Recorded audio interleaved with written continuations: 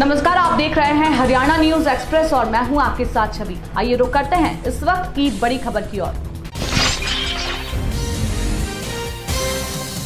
आम आदमी पार्टी ने राजगढ़ में एक बैठक का आयोजन किया। इस बैठक में मुख्य अतिथि के तौर पर दिल्ली के विधायक कुलदीप कुमार और जिला सिरमौर प्रभारी डॉक्टर बलवंत सिंघा उपस्थित रहे। इस बैठक की अध्यक्षता मंडल अध्यक्ष अजय वर्मा ने की।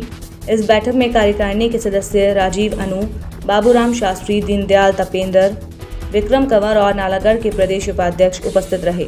इस बैठक में जिला कांगड़ा में होने वाली रैली के बारे में चर्चा की गई। आम आदमी पार्टी के मीडिया प्रभारी अंकुश चौहान ने यहाँ जारी एक प्रेस बयान में भाजपा सरकार को घेरते हुए कहा कि दो दिन पहले जनता को लुभाने के लिए सराहा में स्वास्थ्य विभाग की ओर से एक स्वास्थ्य मेले का आयोजन किया गया था, जो कि केवल जनता को लुभाने और लोगों का ध्यान अपनी तरफ़ करने के लिए था।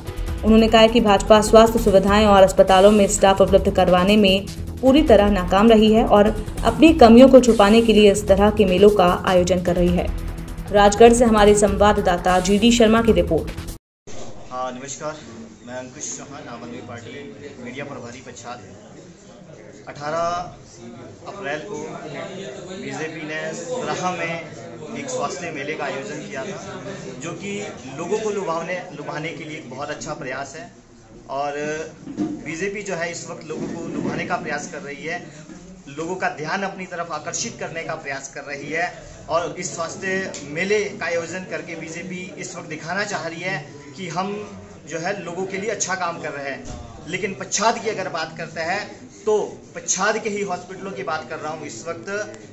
सीएम ने तीन साल पहले राजगढ़ हॉस्पिटल को लेकर जो है सौ बेडेड करने की घोषणा की गई थी, लेकिन आज तक वो नहीं हो पाया है और वही घोषणा जो है आज स्वास्थ्य मंत्री फिर से करके चले गए हैं।